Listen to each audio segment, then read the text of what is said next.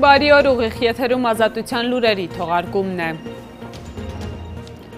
Վերաքննիչ քրեական դատարանն այսօր շարունակել է երկրորդ նախագահ Մարտի 1-ի Մեղադրյալ Քոչարյանի գործով դատախազի եւ տուժողների բողոքների քննության նիստը։ Վերաքննիչ տարված բողոքներին սակայն անդրադարձ դեռ չի եղել նիստի սկզբում Քոչարյանի պաշտպանները ինքնաբացարկի միջնորդություն ներկայացրեցին դատավոր Արմեն Դանիելյանին, կասկածներ հայտնելով, թե միջամտություն է եղել ավտոմատ համակարգում, քանի որ Քոչարյանին վերաբերվող երկու վերաքննիչ բողոքներն էլ մակագրված են դատավոր Դանիելյանին։ Միջամտության կասկածները ցրելու համար ըստ միջնորդության դատարանը պիտի ինքնաբացարկի մասին հայտարարի։ Քիչ անց մոտ 10-15 րոպեից արդեն կտեղեկանանք դատարանը ինչ որոշում է կայացրել։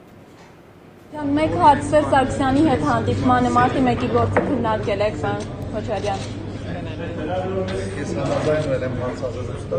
Հարցնում եմ։ Որ չեմ համաձայնվել։ Իսկ ասուլիսով հանդես գալու եք առաջին։ Այսօր մտադրված չի որևէ բան ասել։ Ինչով պայմանավորված։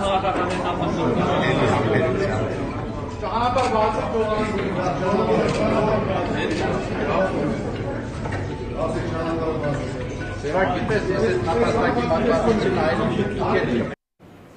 Իդեպ դատական նիստի ընթացքում այսօր առավոտյան դատախազության ներկայացուցիչը նաև հարց բարձրացրեց, ինչու է մեղադրյալ երկրորդ նախագահ Քոչարյանը դատարան մտել ոչ բոլորի համար նախատեսված մուտքից, այլ հետնամուտքից։ Նախկին նիստերից մեկի ընթացքում Քոչարյանի պաշտպան Հայկ Ալումյանն էր նկատել, որ այն ժամանակ էլ գլխավոր դատախազներ դահլիճ մտել ոչ բոլորի համար նախատեսված մուտքով եւ անգամ դատավորին ինքնաբացարկի միջնորդություն էին ներկայացրել։ Դատախազի ծառայողական մուտքով մտնելը կասկածից կասկած է առաջացնում, որ դատավորը նախապատվություն է տալիս մեղադրող կողմին, դեռ այն ժամանակ հայտարարել էր Ալումյանը։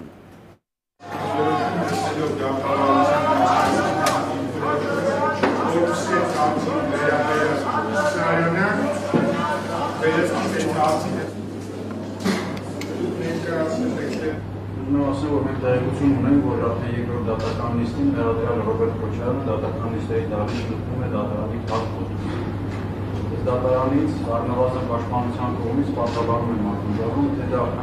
ինչի իման վրա եւ ինչ նկատառումներից ելնելով է կատարվում, եւ արդյոք դա չի ընդհանրում շփում գործ քննող դատավորի հետ։ Ուրեմն պարոն Բաղդասարյան, մի անգամից ասեմ, ընդդիմացած որևէ շփում նախ չի կարող լինել, չկա այդպիսի բան։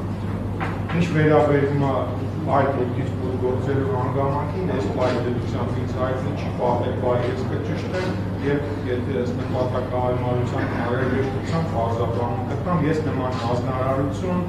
նման կարգ իմ կողմից չի սահմանվել, որևէ մեկը ինչ չի դիմել, որպեսզի այդպեսի կարգ սահմանվի կամ նման հնարավորություն Հայաստանի Հանրապետության բոլոր պաշտոնատար նախագահները համապատասխան օրենքի համաձայն ունեն հատկարկավիճակ, որի շրջանակներում տեղաշարժվում են ազատագրության ծառայողների աջակցությամբ, համապատասխանաբար այդ նաև դատական նիստերի դեպքում չեն գործում այս մուտքից ի տարբերություն նման կարգավիճակ չուներ դատախազը դրա համար էր առաջին այդանի դատում նման խնդիր բարձրացնում։ Եթե պատասխանող կողմը, ներողություն, եթե դատախազությունը փոխում է, որ սա ռիսկ է առաջացնում դատարանի կողմնակալության մասով, խնդրեմ միանալ մեր ինքնաբացակի Ուզում հաստել, որ փաստորեն պաշտպանության կողմը անվտանգության նկատառումների վերաբերյալ տեղեկացված է եւ հետեւաբար քանի որ դատարանը հայտարարեց, որ այդ կապակցությամբ ճշտումներ կան եւ բարձրացան։ Միշտ երբ պարոն Քոչարյանը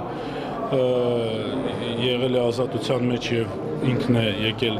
դատարանի դահլիճ,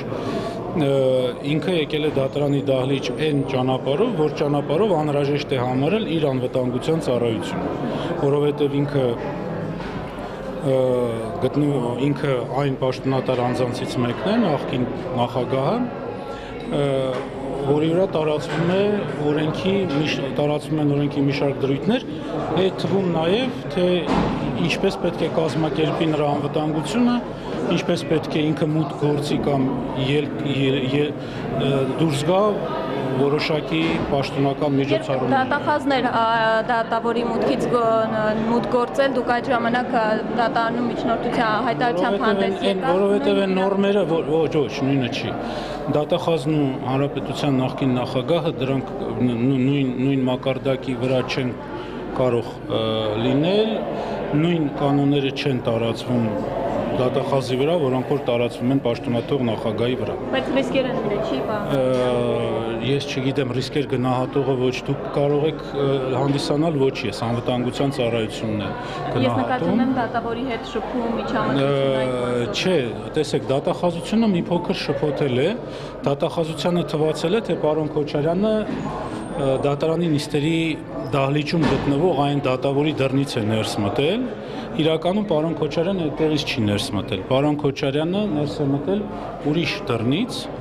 իսկ դահլիճ մտել են նույն դռնով, ինչ որ մենք բոլորս։ Եվ հենց նոր դուք տեսաք, որ դուրս եկավ նույնպես այդ դռնով։ Ուղղակի ինքը փողոց չի դուրս գալիս այդ նույն դռնով, ինչ մենք բոլորս։ Փողոց ինքը դուրս է գալիս մի հատ ուրիշ մուտքով։ Ա, Դա հետնամուտք ասել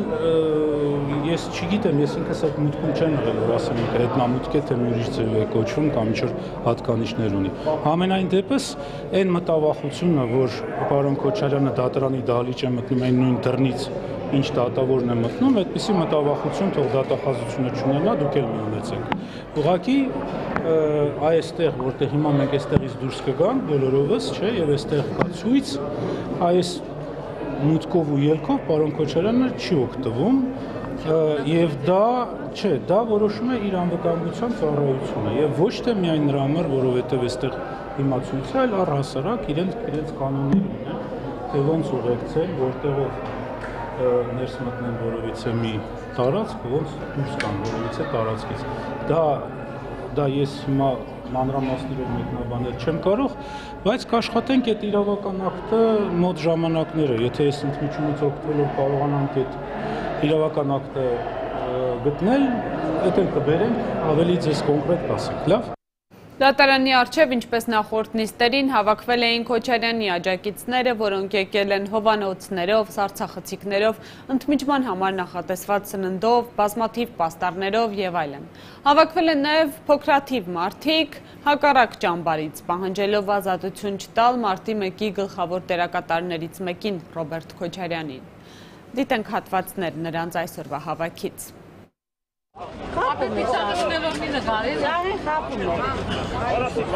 Այսպես ասած եղել չի։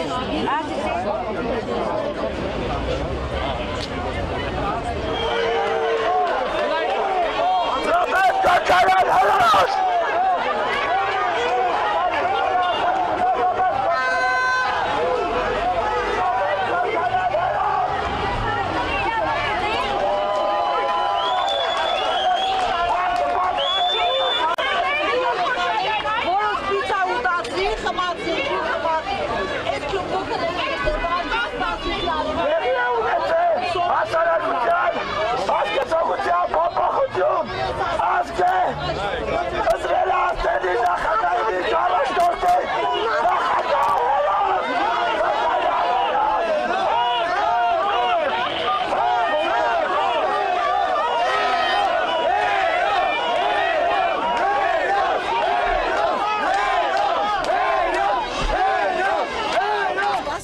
15 տարեկան տղա երեխաներ են։ Խմբով իրանց հանեցին տարան, այնտեղ այդ երեխաները պիցա իրանց պիցա տվեցին, կերան, ջուր խմեցին, սուրճ խմեցին։ Մեկ էլ հանկարծ փողոց տանցան ու էսենց ողքեվորված եկան։ Ինչ են օգտագործում 15-14 տարեկան երեխաներին։ Ընդամենը ասենք երեխա են 14-15 դուք ինքներդ տեսակ այդ խումբը, ես էլ եմ նկարել։ Եվ ասենք